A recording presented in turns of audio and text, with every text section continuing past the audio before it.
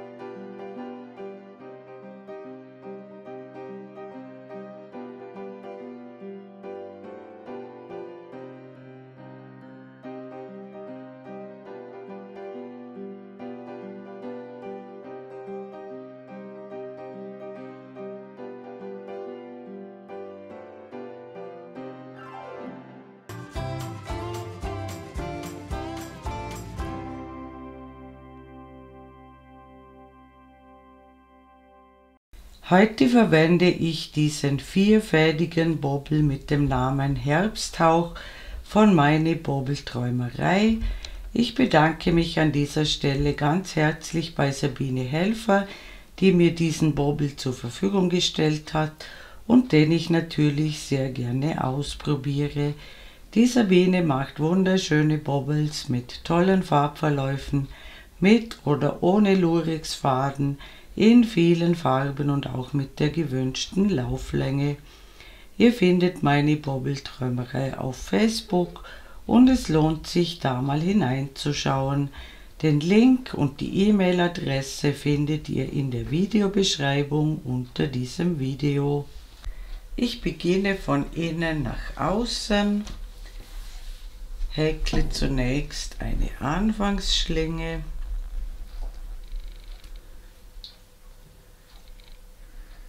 häkle zwei Luftmaschen, drehe die erste um und steche ein, sodass zwei Fäden oben sind und einer unten, hole den Faden durch,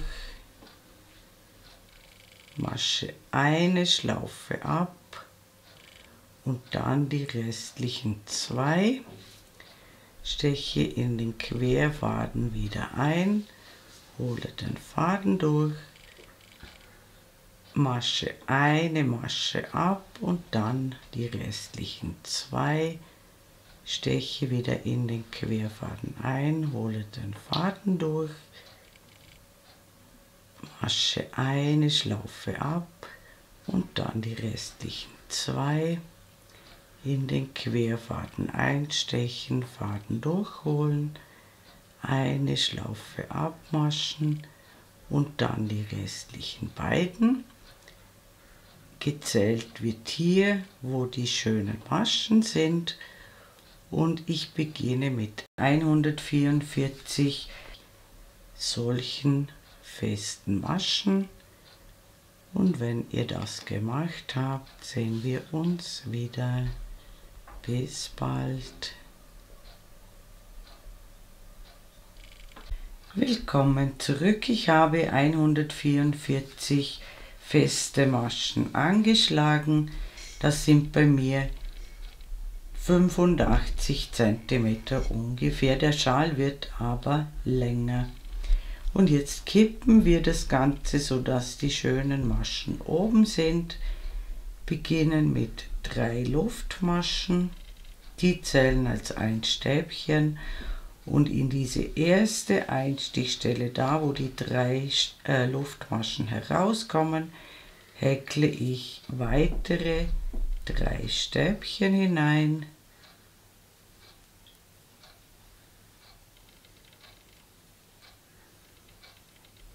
Und dann in jede Masche, die kommt, drei Stäbchen. Eins,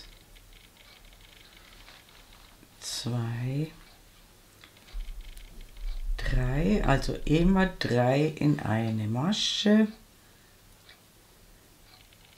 Eins, zwei, drei. Das Ganze beginnt sich einzurollen durch diese extreme Zunahme. Sobald wir ein Stück gemacht haben, sieht man das. Es muss sich nicht regelmäßig einrollen. Das spielt keine Rolle, wie sich das hier rollt. Wir müssen nur auf eines achten, dass wir in jeder Masche drei Stäbchen haben. Das mache ich jetzt die ganze Reihe entlang und kurz bevor ich mit der Reihe fertig bin, sehen wir uns wieder. Bis gleich. Willkommen zurück. Ich bin beinahe mit der Reihe fertig. Ich habe eine feste Masche noch übrig gelassen, denn in diese müssen wir vier Stäbchen häkeln. Eins, zwei, drei, vier. Wir haben am Anfang der Reihe vier Stäbchen in die erste Masche gemacht und auch in die letzte vier Stäbchen und haben jetzt eine Maschenzahl, die teilbar ist durch 3 plus 2 extra Maschen für das Muster. Und wir wenden, beginnen mit drei Luftmaschen, die zählen als ein Stäbchen und noch eine vierte Luftmasche für den Abstand, holen einen Umschlag.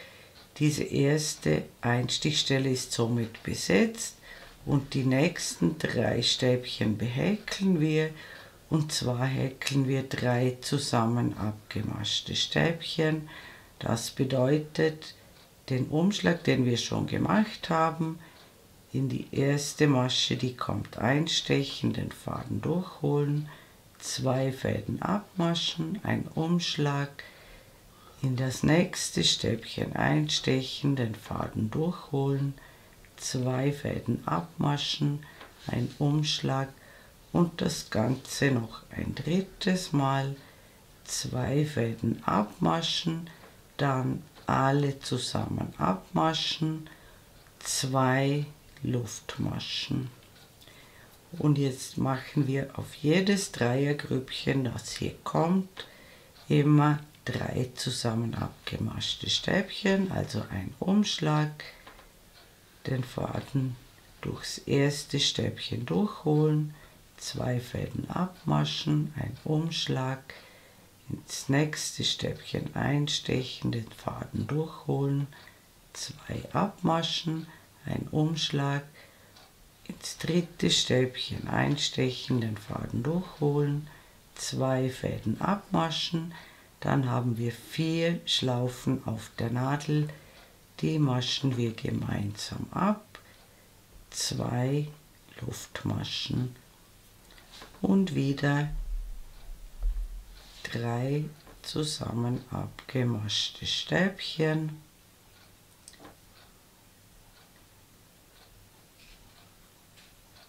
Und dazwischen immer zwei Luftmaschen. Das sieht so aus, es wird jedes Stäbchen behäkelt und das machen wir die ganze Reihe so und am Ende der Reihe sehen wir uns wieder. Bis bald. Willkommen zurück, ich bin beinahe mit der Reihe fertig. Ich habe jetzt hier noch drei normale Stäbchen und ein Ersatzstäbchen, habe die zwei Luftmaschen gemacht, häkle noch die letzten drei zusammen abgemaschten Stäbchen.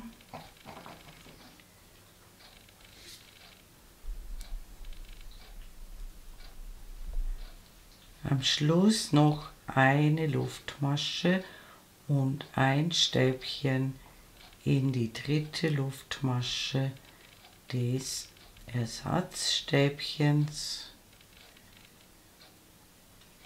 Das ist unser Randstäbchen. Wir haben auch mit einem Randstäbchen begonnen und wir wenden die Arbeit und starten wieder mit drei Luftmaschen. Das ist wieder unser Randstäbchen.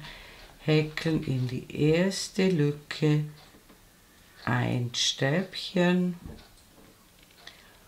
und dann in die Lücken zwischen den Gruppen immer drei Stäbchen. Eins, zwei, drei. Einfach um den Luftmaschenbogen herum drei Stäbchen in jede Lücke.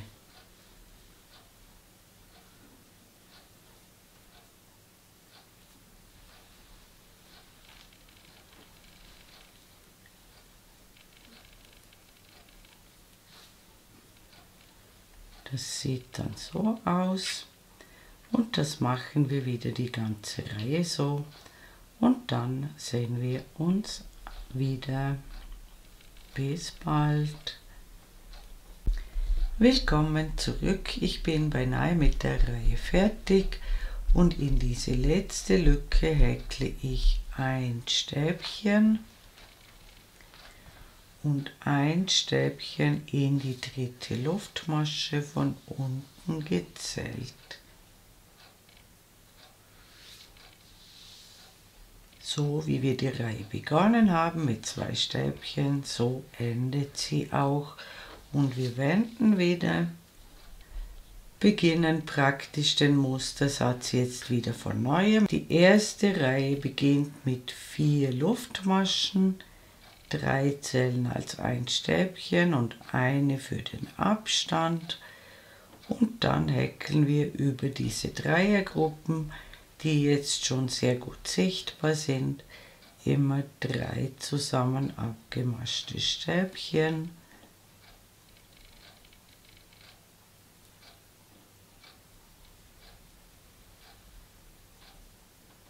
Und zwischen den Gruppen immer zwei Luftmaschen. Drei zusammen abgemaschte Stäbchen über die vorhandenen Dreiergruppen, dazwischen zwei Luftmaschen und das machen wir wieder die ganze Reihe so und dann sehen wir uns wieder. Bis bald. Willkommen zurück. Ich bin beinahe mit der Reihe fertig und die Reihe endet. Wir haben hier noch zwei Stäbchen mit einer Luftmasche und einem Stäbchen in die dritte Luftmasche des Ersatzstäbchens und die zweite Musterreihe beginnt ebenfalls mit drei Luftmaschen und einem Stäbchen hier in diese erste Lücke und dann häkeln wir in jede Lücke, die kommt, drei Stäbchen.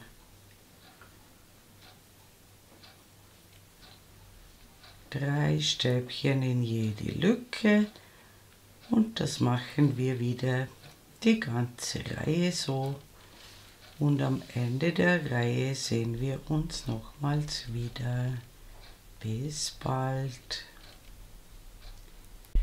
Willkommen zurück. Ich bin am Ende der Reihe angekommen und sie endet, wie sie begonnen hat, nämlich mit zwei Stäbchen.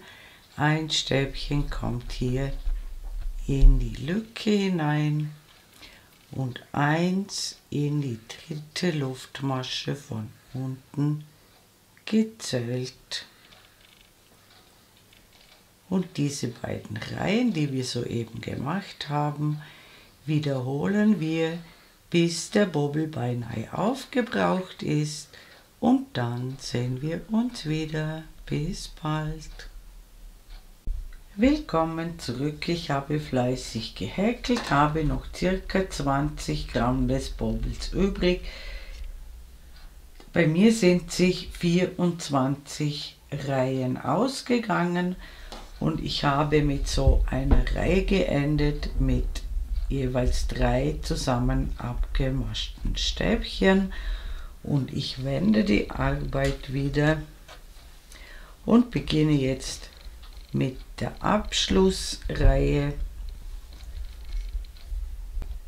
Ich häkle zunächst eine Luftmasche und in diese kleine Lücke hier häkle ich zwei feste Maschen.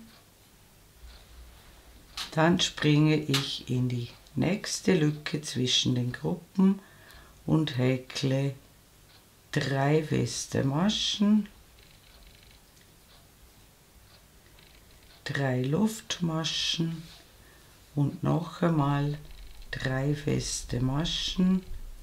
Eins, zwei, drei in dieselbe Lücke. Das gibt so einen kleinen Spitz.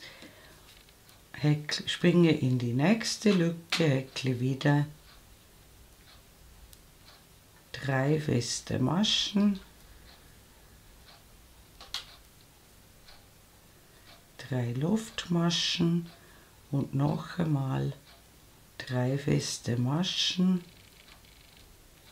in dieselbe Lücke. Springe in die nächste Lücke, häkle wieder drei feste Maschen, drei Luftmaschen, dann die festen Maschen ein bisschen zur Seite schieben nach rechts und noch einmal drei feste Maschen in die Lücke. Das Ganze sieht dann so aus und das machen wir die ganze Reihe hinüber und an der Ecke sehen wir uns wieder. Bis bald. Willkommen zurück. Ich bin an der Ecke angekommen.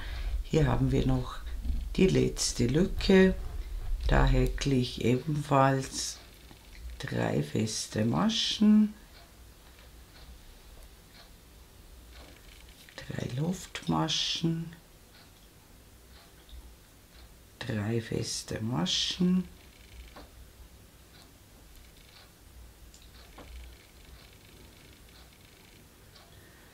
Und häkle dann um jedes Randstäbchen herum. Hier seht ihr immer die Randstäbchen, auch immer drei feste Maschen. Drei Luftmaschen. Drei feste Maschen. Und das machen wir bis wir wieder zur Ecke kommen, also diese Schmalseite entlang. Und an der Ecke sehen wir uns wieder. Bis gleich. Willkommen zurück, ich bin wieder an der Ecke angekommen, habe alle Lücken behäkelt und jetzt häkle ich hier an der Anschlagskante hinunter und hier häkle ich nur feste Maschen und den Faden häkle ich gleich mit ein, den Anfangsfaden.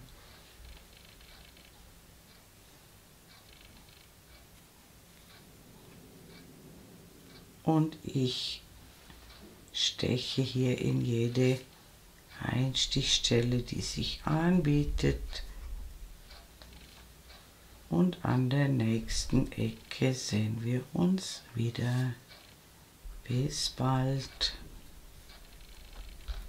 Willkommen zurück. Ich bin wieder an der Schmalseite hier angekommen und habe bis in die letzte Masche, feste Maschen gehäkelt.